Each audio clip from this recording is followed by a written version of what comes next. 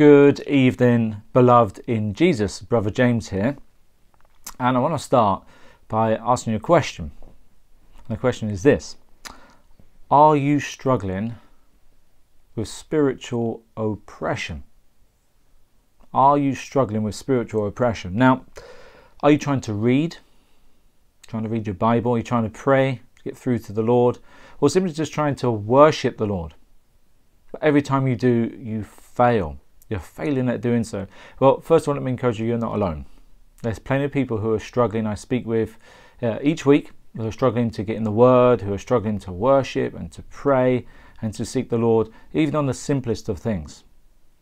So you're not alone. Now, this last Sunday's message was entitled, Are You Ignorant of Satan's Strategies? And in that, I covered three things. The things were number one, biblical insight into the supernatural realm. Number two, how to spot it. And number three, what to do about it. Let me read that again. Number one was biblical insight into what is taking place, going on in the supernatural realm. How to spot it. What does it look like? Um, how does it manifest? What form does it take in our lives? And what to do about it. And in this message, I give very clear biblical instruction of how to overcome it. Let me just encourage you with this Jesus gives us the pattern. Praise God. So I want to invite you. It's going to be tomorrow. We're going to be fasting as a church from 12 noon, a 24 hour fast tomorrow, Wednesday. And at 7 in the evening, this is all UK time, we're going to be gathering together as a church during the fast to pray and to worship and praise the Lord. That's what we're going to do about it. So let me leave you with this two scriptures one from Old Testament, one from the New Testament. Jeremiah 29, verse 11 says this This is the Lord speaking.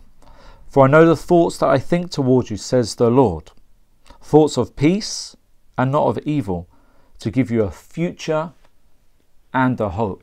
And when we come and fast as a church, we are humbling ourselves before the Lord. Very clear biblical, both Old and New Testament. So let's give you this New Testament text. This is from James chapter 4. It says this Humble yourselves. And that's what fasting is self humbling, self denial. It says, Humble yourselves in the sight of the Lord. And here comes the promise, and he will raise you up. Praise the Lord. I will um, attach a copy of the message below and uh, encourage you to watch it, even to put it on, put it on in the car, wherever it is, to get this teaching and this biblical insight of what you can do about spiritual oppression and what form does it take. I'm sure you're going to recognize there's aspects of your life in this message. So I do hope it encourages you. So let me say once again, I invite you to join us as a church for 24 hours of fasting and humbling before Holy God. Until then, God bless you and be with you.